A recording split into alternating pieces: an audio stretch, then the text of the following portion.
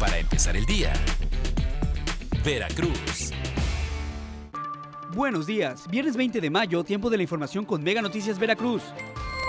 Rellenan lagunas en Veracruz consideradas como áreas protegidas.